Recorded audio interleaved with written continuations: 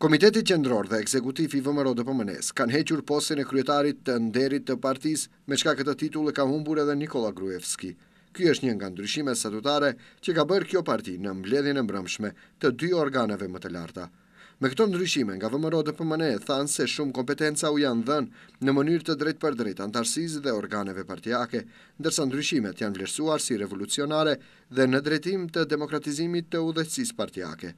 Me këto ndryshime, edhe kryetari i partisë dhe shumë organe tani do të zgjidhen në mënyrë të drejtpërdrejtë. VMRO-DPMNE se odluči za neposredno. VMRO-DPMNE u përcaktua për zgjedhje të drejtpërdrejtë të kryetarit dhe udhëheqësisë së komiteteve komunale nga vetë anëtarësia.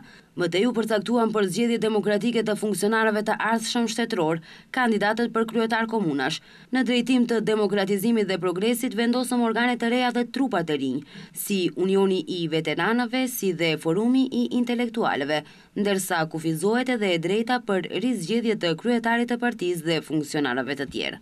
Ruzhica Nikollovska nga VMRO-DPMNE tha se me statutin e ri, potencohet rëndësia e përfaqësimit të drejtë të femrave dhe meshkujve në kuadër të organeve dhe trupave partiak. Vendoset pozicion i ri, kryesues i Komitetit Qendror, ndërsa kufizohet edhe mandati i funksionarëve. Një hap përpara gjatë vendimmarrjes së drejtpërdrejtë demokratike për zgjedhjen e kandidatëve për këshilltarë në pushtetin lokal është ajo që ata tani më drejtpërdrejtë do t'i zgjedhë Këshilli i Komitetit Komunal. Në këtë mënyrë do zgjidhen edhe kandidatët e rinj për kryetarë komunash nga VMRO-DPMNE, Kufizohet mandati i kryetarit të partisë, kryetarëve të komiteteve komunale si dhe kryetarëve dhe anëtarëve të gjitha organeve dhe trupave që do zgjidhen në Kongres.